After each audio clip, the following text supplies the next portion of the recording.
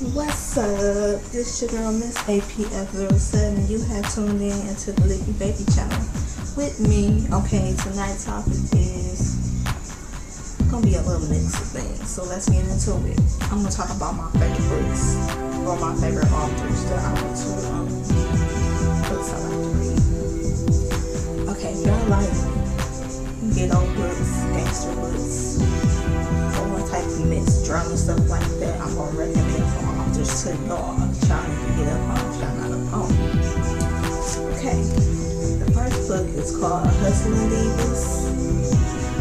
And it's by De'nesha Diamond. Get y'all little stuff on the back. It says Memphis is the crime capital of America, and no one knows that better than women born and raised on main streets. Sissy, Tahara, and LaShawn, LaShawn, LaShelle, I already you get her name wrong, on the opposite sides of the street game. But blood means nothing, and loyalty doesn't last long. It also got Yolanda, Yolanda, an ambitious drug mule and Marine and police detective caught up with the same man, the notorious hustler Python. Uh, these four women think they have got the game figured out, but the one thing they have would come out on top. Forget what you heard about the East uh, Coast, West Coast, cause real,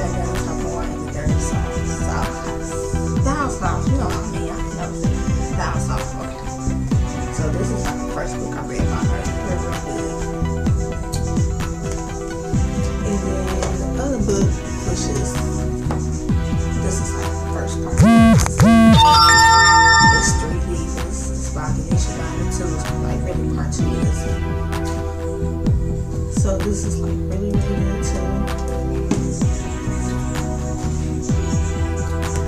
Um, my other books I like are by Wahida Clark. Clark.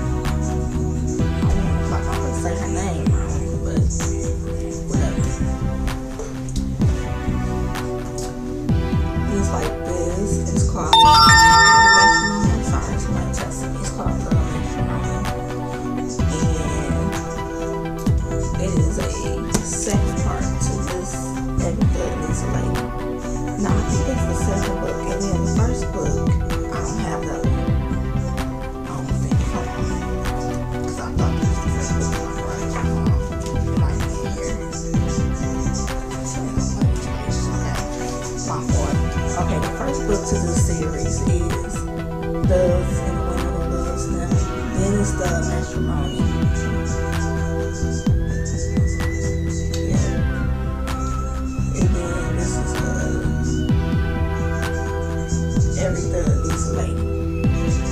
So, you have to find these. Bought these from Walmart.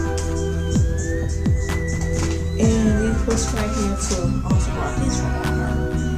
But you know, people getting up on their reading. It's hard to find books in Walmart.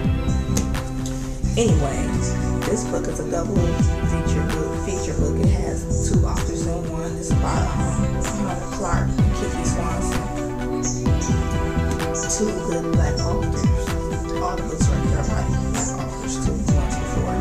These are some good books. Um, it has two stories in one by two different authors. The first one is by um, Wahida Clark. And if my thing is strong, cut Aisha Tank Control Renee is filming for Frank. Her brother was married, just been out of prison, one strike away from locking out his life. When Rain betrays her to the Fed, she risks everything to save the Empire, giving Rain one last confession of